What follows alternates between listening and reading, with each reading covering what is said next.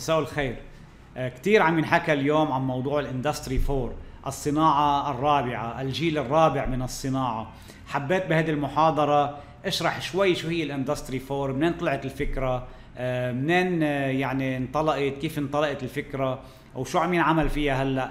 شو هي الخطوات المطلوبة من هالمصانع من هالصناعة لحتى تصير نقدر نسميها صناعة ذكية smart factory كيف بنقدر نجمع هال data اليوم بال industrial internet of things بعد ما كانت عم ناخذها من SCADA وال PLC عناوين كثيرة بهذه المحاضرة بنتطرق لها إن شاء الله لحتى نقدر نضوي شوي على موضوع التحول الرقمي في القطاع الصناعي ال digital transformation بالقطاع الصناعي.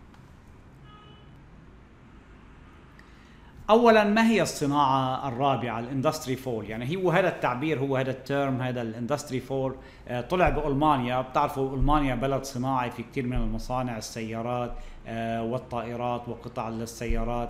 آه، فأطلقوا تسمية ال Industry 4 الجيل الرابع من الصناعة بمعرض هانوفر يعني من حوالي بالعام 2012 اما 2011 على ما أتذكر. ف الجيل الرابع يعني من الصناعة هو مش عم بيدخلوا يعني بعض التحسينات وبعض التعديلات على القطاع الصناعي. هن عم بيقولوا نحن بدنا نقود عملية تحول رقمي في المصانع. عملية التحول يعني إنه هذا المصنع آه، بدها تتغير الأسس التقنية والتكنولوجية اللي كان عم بقوم عليها آه، لأنه دخلت هلأ تكنولوجيا حديثة بدنا نشوفها شو هي اللي بتقدر تعمل نوع من التغير في هالمصانع تغير وتحول رقمي.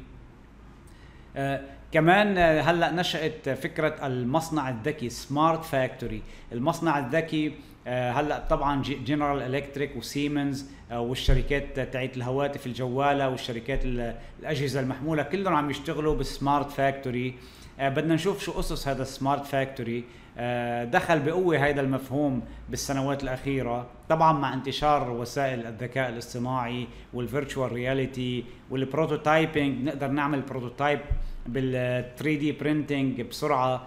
آه، ف smart factory أحد أعمدة الصناعة الذكية الجيل الرابع للصناعة. وطبعا في مفهوم هلأ عم ينحكى فيه كمان اللي بيقولوا له ال cyber physical system CPS يعني إنه بنقدر نتحكم بالأشياء المادية يعني بعناصر المصنع بآلات المصنع عبر السايبر عبر الإنترنت أم عبر أما عبر الشبكات اللي خاصة بهالشركات ال VPN وما ال VPN فال cyber physical systems هلأ آه، كمان أحد أعمدة التصنيع الذكي الجيل الرابع من الصناعة. فهلأ هيدي الصناعة الرابعة إذا بتفوتوا على جوجل أما بتفوتوا على أي محرك بحث بتكتب ال industry four بيطلع لك كثير دراسات عشرات مئات آلاف الدراسات عن ال industry four آه بدنا نحاول نعطي الأمور المهمة الأمور يعني الزبدة تاعت ال industry four بهذه المحاضرة. آه، اولا نتحدث شوي عن تطور الصناعة. هلأ هن طبعا العلماء كلهم أجمعوا على أربع مراحل بتطور الصناعة بتطور القطاع الصناعي.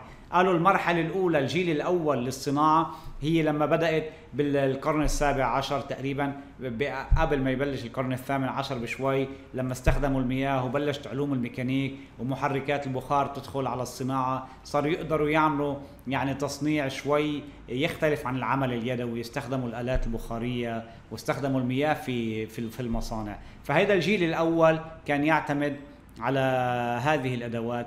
اجى الجيل الثاني بعده بال يعني تقريبا بال 1870 لما دخلت الكهرباء اكتشفت الكهرباء. هون صرنا عم نحكي عن ال mass production لأنه صرنا عم نستخدم الطاقة الكهربائية بالإنتاج بالمصانع بالمعامل للتصنيع آه، لإنتاج القطع لإنتاج المعدات. أما للإنتاج الغذائي المواد الغذائية فصرنا هون عم نحكي عن mass production الإنتاج الكثيف بهذه المرحلة. فهون المرحلة الجيل الثاني من الصناعة كان دخول الكهرباء آه لها يعني ميز ميز هذا الجيل. أما الجيل الثالث يعني بالسبعينات هالقرن اللي مر لما دخلت المكننة. هون صرنا عم ندخل ال computers بكل أجزاء المصنع. دخلنا ال PLC إذا حدا اشتغل بالقطاع الصناعي منكم اللي عم يحضرنا هلأ آه، بيعرف إنه في SCADA وفي PLC ال PLC اللي هن controllers اللي بيتحكموا بال machine وال SCADA هو ال system اللي اللي بيربط كل هال controller مع بعضهم وبيعطيك control آه، إدارة وتحكم بهذا المصنع. ودخلت ال computers بال ERP وال orders ما ال orders فهون يعني صبغت هذه المرحلة بدخول المكننة بدخول ال computers إلى المصانع. كمان أدت إلى زيادة الفعالية إلى زيادة الإنتاجية في هذه المصانع. فهذا الجيل الثالث أما الجيل الرابع هلأ اللي آه، بلشنا نحكي عنه كثير اللي عم نسمع عنه ال industry 4 هلأ اللي أطلقوا هذا التعبير اسمه ال industry 4 الجيل الرابع. هون دخلت آه، التكنولوجيات الحديثة بقوة هلأ. صرنا عم نحكي عن ال internet of things انترنت الأشياء. بدنا نشوف كيف هلأ بدها تساعدنا بالصناعة. عم نحكي عن ال artificial intelligence الذكاء الاصطناعي كيف بيقدر يساعدنا آه، بالتصنيع بالتصنيع وتخفيض الكلفة والتنبؤ بعمليات الطلب آه، وكمان دخلت موضوع الروبوتات الذكية. يعني ما عادش الروبوت مجرد dummy machine يعني آلة ما بتفهم ما بتقدر تقرر من autonomous ما بتقدر تعمل عمل لحالها. إنه مجرد رافعة لا صار الروبوت آه، ذكي مثل ما بنشوف بأمازون آه، إنه الروبوت هلأ بأمازون بتلاقي هالروبوتات اللي بيحملوا البضاعة بالوير هاوس بيعرف منين بده يجيب الآيتم عن أي رف بيعرف وين بده يحطه. ف اصطبغ هلأ الجيل الحالي من الصناعة بدخول كثيف لهالتكنولوجيات بقلب المصانع. في عنا طبعا هلأ تدرج حتى في موضوع الإندستري 4 ما في الواحد المصنع يروح يقلبه دغري على الجيل الصناعي الرابع. بده يمشي شوي شوي لأنه في عنده استثمارات آه، قبل موجودة بموضوع ال SCADA بموضوع ال PLC بموضوع الأجهزة القديمة. فهذه أربعة مراحل نحن ال industry 4 اللي عم نحكي عنه اللي هلأ هو عم نعيشه حاليا بالدول المتقدمة اللي عم تشتغل فيه. آه، الموضوع آه، مش بس مصنع ذكي هن عم عم يحكوا عن ال value chain كلها عم يحكوا سلسلة القيمة سلسلة التوريد من لما بتجيب ال orders من من ال supplier ليفوت لعندك على المصنع لتصنعه لهذا ال order بيجي بالمصنع بنكون حاطين sensors نحن على كل على كل الروبوتات على كل ال machines هو ال sensors اللي بنقول لهم نحن IoT sensors انترنت الأشياء. ببثوا data دغري مباشرة إذا نقصت البضاعه اللي, اللي بدهم إياها بالتصنيع أما إذا بدهم يعملوا orders أما إذا عليت ال temperature الحرارة أما عليت ال humidity بقلب المصنع.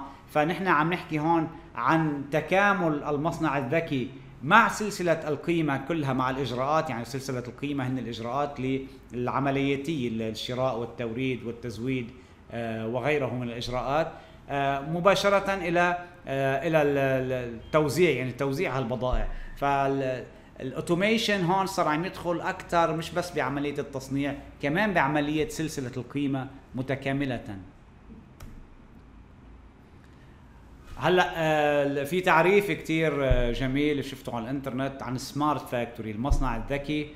إنه هو المصنع لما بيكون ال CPS ال cyber physical system communicate over IoT and assist people and machines in the execution of their tasks. يعني لما بيكون ال cyber physical system هذا اللي حاطينه نحن بياخذ data من ال IoT من ال sensors هول من انترنت الأشياء وبساعد ال people بمهامهم سواء بمهامهم الإدارية أو بمهامهم العملياتية التصنيعيه فهون ال smart factory definition تاعوله كيف ينتمي المصنع إلى الصناعة الرابعة إلى الجيل الرابع؟ يعني شو هن المبادئ؟ شو هن الأسس اللي بنقدر نقول إنه هذا المصنع صار قريب من الجيل الرابع للصناعة؟ آه، حددوا العلماء اللي هن اشتغلوا بال industry 4 حددوا أربع مبادئ يعني لحتى نقول نطلق على هذا المصنع اسم المصنع الذكي إنه انتمى للجيل الرابع. أول شيء ال interoperability يعني ال interoperability يعني قابلية التشغيل البيني. يعني بتقدر الآلات والأجهزة وال machines وال people بكل هالمصنع يقدروا يحكوا مع بعضهم. يعني ال data بتكون مفهومة بين بين افترضنا آه، معدات التصنيع بين معدات طلب البضائع وبين ال people فبيكون في عنا interoperability بنقول لها نحن قابلية التشغيل البيني. هون إذا كانت معدات المصنع مش عم تقدر تتواصل مع بعضها بال data. ما بنكون بعد نحن وصلنا لموضوع ال smart factory ال industry 4 المبدأ الثاني اللي حكيوا عنه بال industry 4 اللي هو شفافية المعلومات information transparency information transparency إنه آه، بتقدر بيقدر هالمصنع يعطيك صورة افتراضية عن عملية التصنيع. يعني على سبيل المثال بيقدر مثلا بال virtual reality افترضنا اليوم virtual reality يقدر يشوف كيف عم تتم عملية التصنيع أما يتخيل كيف بدها تتم عملية التصنيع والإنتاج. فلأنه التكنولوجيا صارت موجودة ال augmented reality ال virtual reality عم تخليني أشوف صورة افتراضية عن هذا المصنع. آه بالإدارة العامة. يعني يمكن الإدارة العامة بدها تشوف virtual آه reality عن هذا المصنع بدها تشوف صورة افتراضية عن عمليات التصنيع بتقدر تشوف التكنولوجيا بتأمن له هذا الموضوع. المساعدة التقنية المساعدة التقنية ال technical assistance يعني اليوم بدنا نشوف إنه الآلات والروبوتات والأنظمة آه، بتقدر تساعد هذا البشري سواء بالمهام الإدارية أو بالمهام التنفيذية الصعبة يعني مثل حمل افترضنا بمصنع السيارات مصنع السيارات اليوم البشر معظم البشر يعني هن بيحطوا الأمور البسيطة بتصنيع السيارة والروبوتات هي بتحمل بتشيل بتشيل الأعباء بتشيل النوافذ بتشيل كل الأمور الضخمة عن عن كاهل العامل البشري. طبعا هون آه، في بعض الناس بيقولوا إنه في ناس كثير بدها تفقد وظائفها بهذا المجال إذا قدرت الآلات والروبوتات آه، تحول هالمصانع إلى autonomous autonomous يعني تعمل لحالها. آه، ممكن تفقد بعض الناس وظائفها بالوظائف الدنيا. اللي بيشتغلوا اونلاين ممكن كثير بس إذا كان في خطط ليحولوهم لوظائف أعلى شوي بيمشي الحال. المبدأ الرابع لا مركزية القرار الذكي.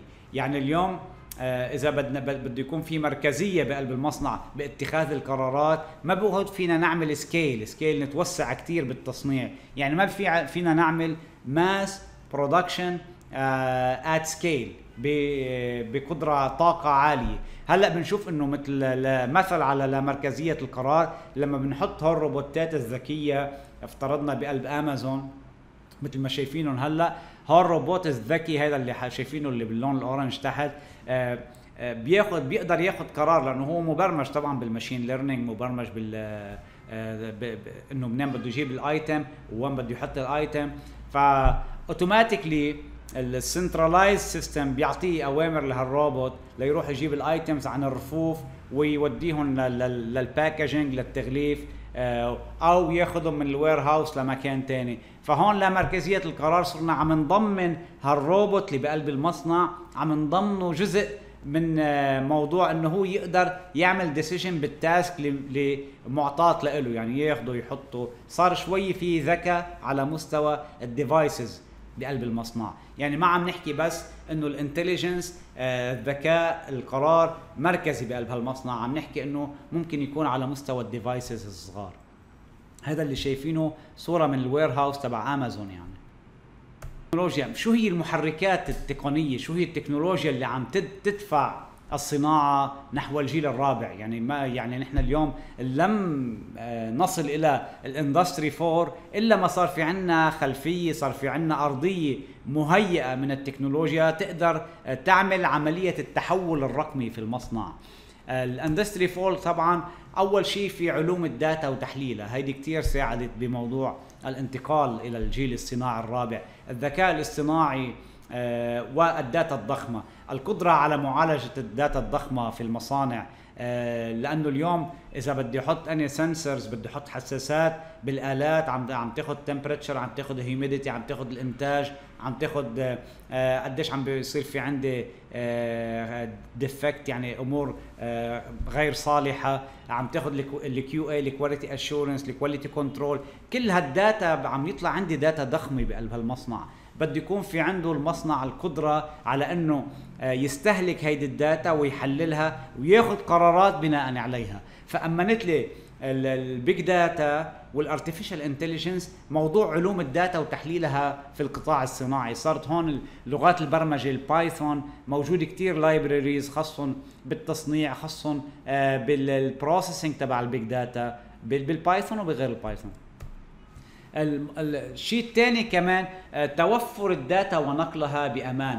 يعني اليوم تناقل ال data كيف بدي أنقل ال data؟ يعني بالمصانع اليوم العادية تاعت الجيل الثالث في عندهم ال PLC إذا مثل ما حكيت أنا ال PLC اللي هو ال controller هول اللي بيقعدوا على بقلب المصنع ببثوا data. اليوم هول PLC وصلنا لمنطقة آه، مش صار في عندهم كثير بروتوكول وكثير data format فما فيش interoperability كثير بيناتهم. فإنترنت الأشياء اليوم وبالذات ال industrial internet of things يعني إنترنت الأشياء الصناعية. رايحة تعمل replacement لل PLC لهول controller ورايحة تبث data من كل أماكن المصنع على مركزية منصة تحليل المعلومات في هذا المصنع.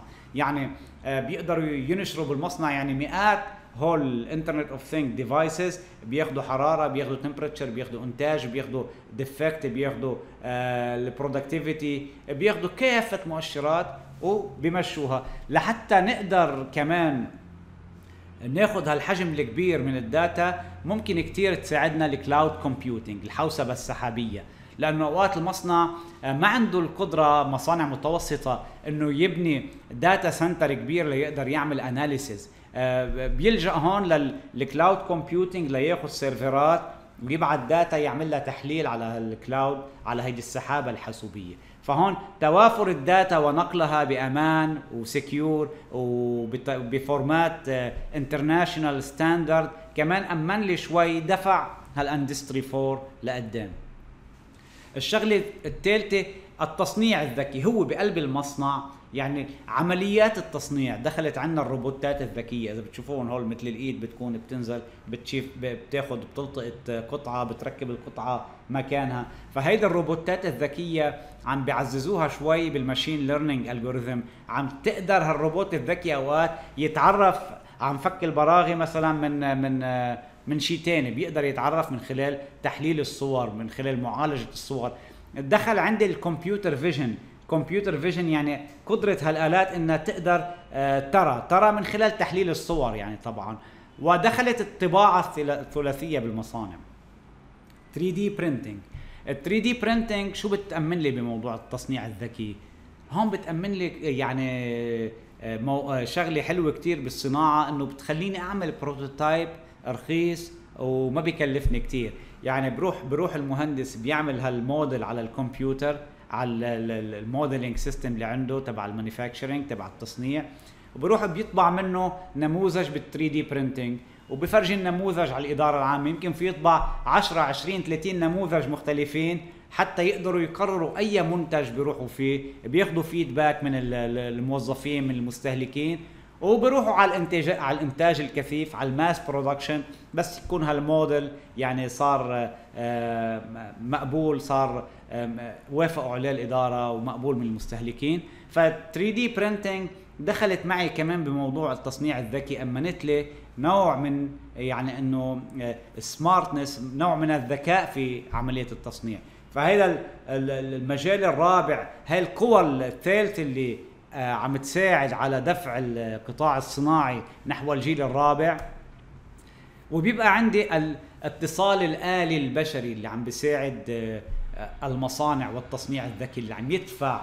الواقع الافتراضي مثل ما حكينا قبل شوي إنه آه، الواقع الافتراضي من الممكن إنه بهالمصنع يقدر يعيش تجربة افتراضية واقع افتراضي إنه هو عم يصنع اما يدرب الموظفين على عملية التصنيع من خلال تطبيقات الواقع الافتراضي. بشوف حاله الموظف إنه عن جد فعلا عم بركب مثلا device أما عم بركب سيارة أما عم أما عم بركب ألعاب للأطفال وغيره من الأمور. فالواقع الافتراضي يعني كمان دفع موضوع التصنيع دفش موضوع التصنيع إلى الجيل الرابع. والمحاكاة ال simulation. ال simulation يعني في كتير عمليات تصنيع. بحاجة للواحد يعمل لها محاكاة على المستوى ال data يشوف إنه إذا إذا افترضنا على مؤشرات معينة على factor معينين شو بيطلع عندي بالإنتاج؟ آه، أما إذا على parameters مثلا غير parameter بهذا بهذا المنتج شو بيطلع عندي المنتج؟ شو بيتغير في المنتج؟ سواء على مستوى الكلفة أما على مستوى آه، جودة الإنتاج وغيره. فعندي هالمجموعات الأربعة من التكنولوجيا اللي هي عم تدفع هلا القطاع الصناعي نحو الجيل الصناعي الرابع نحو ال industry 4 وطبعا هيدي التكنولوجيا اللي شايفينها اليوم مش تكنولوجيا المستقبل هيدي التكنولوجيا صارت موجودة ومتوفرة.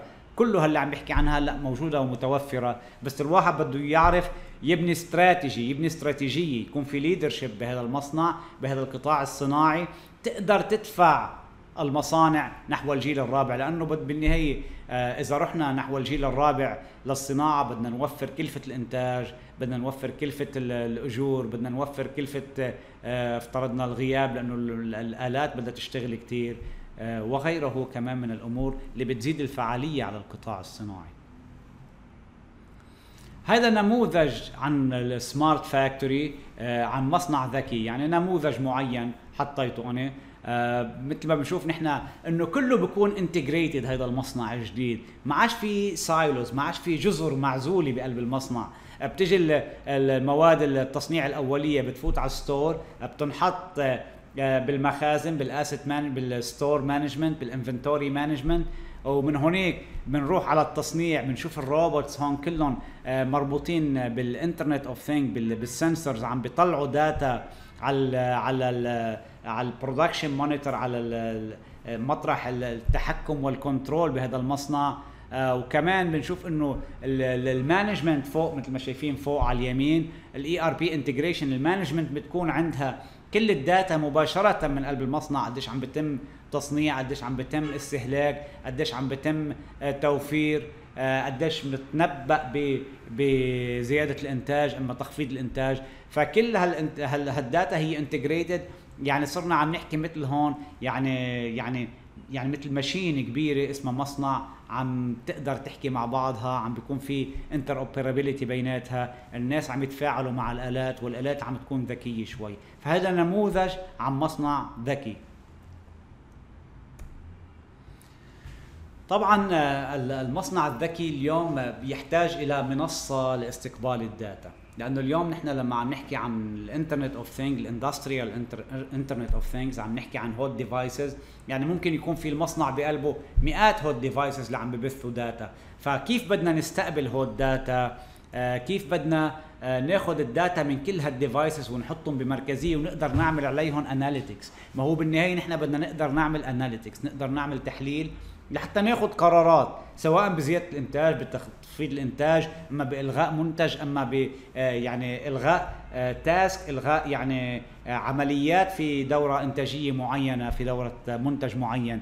ف اللي حطيته أنا هون هيدي architecture هي معمارية قائمة على ال Amazon cloud يعني في الواحد يحط عنده بقلب المصنع. طبعا كل مصنع يختلف عن عن مصنع آخر. ليس بالضرورة إنه هال architecture تركب وين ما كان. بس اللي عم أقوله أنا إنه بده يكون في عنا IoT devices بيحكوا عادة بالبروتوكول. هلأ جديد اللي ماشي بال internet of thing اللي هو ال MQTT هلأ عم بحكي شوية تكنولوجيا.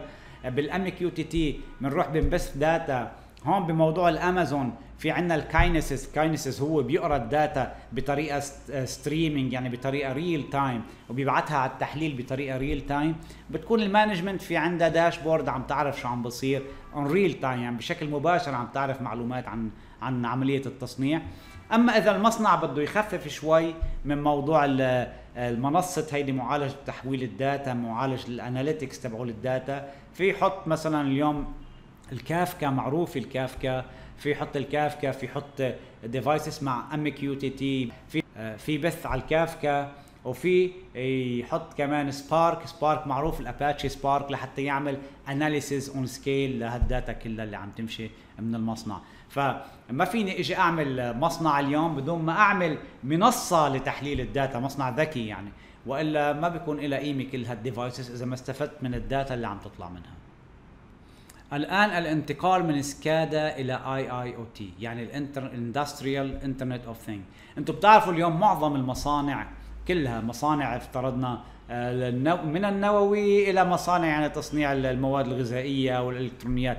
معظم هالمصانع بتعمل على SCADA system وعلى ال PLC ال PLC اللي هن controller يعني خليني أقول مثل كمبيوتر صغير محطوط ب ب آه، بهالمصنع موزع على على آلات التصنيع هنا وهناك. وفي SCADA اللي هو بيعطينا ال control تبع هالمصنع. طب اليوم المصانع في مصانع من الممكن أن تبنى هلأ حديثا. يعني بالمصانع الحديثة في يروح الواحد دغري مباشرة على ال industrial internet of thing في يعمل architecture جديد يعمل smart factory بس في المصانع اللي موجودة هلأ ما في هذا المصنع يعني يرمي الاستثمارات تبعوله كليا يعود يبني المصنع من جديد. فبده يعمل عملية تحديث لهيدا ال architecture بده يعمل عملية تحول. لأنه المصنع الجديد ما بنقول له نحن تحول. المصنع الجديد هو عملية بناء جديدة مطابقة لمبادئ ال industry 4 لمبادئ الجيل الصناعي الرابع. ولكن المصانع الموجودة هون بنحكي عن digital transformation هون بنحكي عن عملية تحول إلكتروني. يعني اللي فيهم اليوم ما يستبدلوا هالقطع. في كتير شركات اليوم أمنت adapters أمنت يعني devices أما أمنت برامج بتقدر تاخذ ال data من ال PLC من SCADA وتحولها لل MQTT وال MQTT بيروحوا بياخذوها على كافكا بياخذوها على Kinesis بأمازون وبيحللوها وبيكملوا من هونيك يعني بيركبوا adapters على على الموجودين وبيحاولوا يحدثوا شوي شوي معمارية هالمصنع لينتقلوا من ال SCADA لل IIoT طبعا المستقبل رايح لل Industry 4 يعني SCADA صارت هلأ دخلت بالسبعينات يعني وصلت لآخر مراحلها هلأ. مش رح تروح مباشرة في استثمارات هائلة بموضوع شبكات ال SCADA وال PLC ما بتروح دغري بس بده يصير في integration وتحول مرحلي بعمليه التصنيع شوي شوي.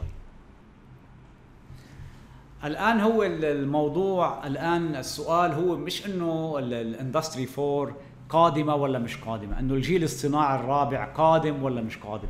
السؤال هو يعني بأي سرعة جاي لعنا هذا الجيل الصناعي الرابع؟ بأي سرعة بصير في عنا إنه هول ال systems القدماء بالمصانع ما بقعدوا يشتغلوا. بأي سرعة بيصيروا هو ال systems القدماء ما بقعد ينعمل لهم maintenance و update من الشركات لأن الشركات بتروح لمكان تاني.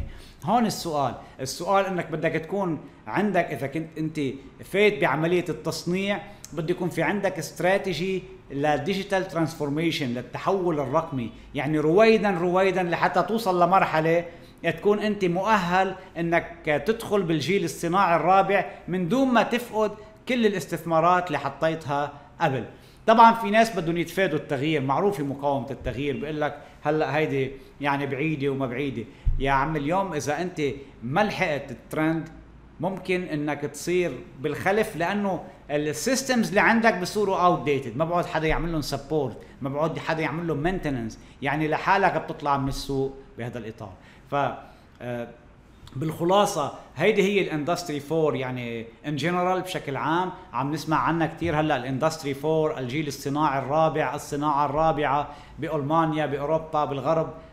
حتى بسنغافورة وباليابان كمان مثل ما حكينا باليابان طلعوا المجتمع الخامس مجتمع ما بعد المعلومات مجتمع ما بعد المعرفة عم يشتغلوا عليه. فمنيح نحن نعرف وين رايح الصناعة منيح نحن نعرف digital transformation بالعالم بالقطاع الصناعي موضوع التحول الرقمي بالقطاع الصناعي وين رايح وشو هي أسسه وشو هي ال technology اللي رايحة تدفع هذا القطاع الصناعي للتحول. آه، بشوفكم بحلقات قادمة إن شاء الله. بنحكي مزيد عن عملية التحول الرقمي مزيد عن عملية ال digital transformation هلأ اللي عم تحدث بكافة القطاعات بالصناعة بالسياحة بال banking آه، عم تحدث كمان آه، بالحكومة وعم تحدث بمؤسسات القطاع الخاص والعام على حد سواء. والسلام عليكم ورحمة الله وبركاته.